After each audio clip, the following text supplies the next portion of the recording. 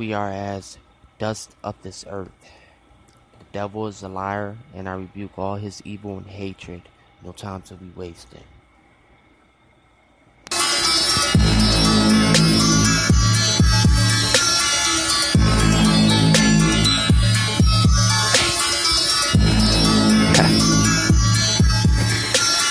And then repeat a great wonder in heaven, a woman clothed with the sun, and the moon under her feet, and upon her head twelve stars, she being with child cried, travailing in birth and pain to be delivered.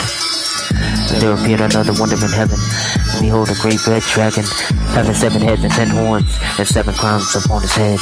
And his tail drew the third part of the stars of heaven, and did cast them to the earth. And the dragon stood before the woman which was ready to be delivered, for to devour her child as soon as was born. And she brought forth a man child who was to rule all nations with a rod of iron, and the child was caught up unto God and to his throne. And the woman fled into the wilderness where she had the place prepared of God, that they should feed her there a thousand two hundred three score days.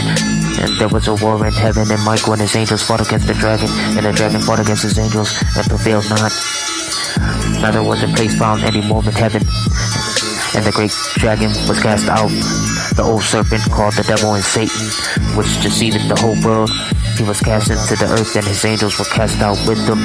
And I heard a loud voice saying in heaven, Now is come salvation and strength, and the kingdom of our God, and the power of his Christ. For the accuser of our brethren is cast down, which accuseth them before our God day and night.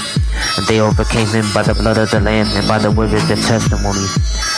They loved not their lives unto the death.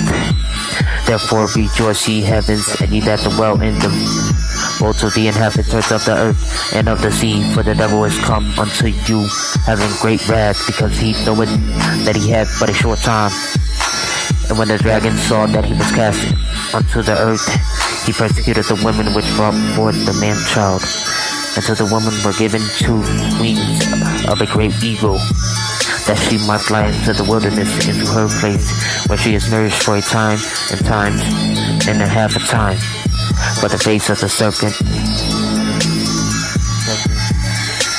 And the serpent cast out of his mouth water as a flood after the woman, that he might cause her to be carried away of the flood.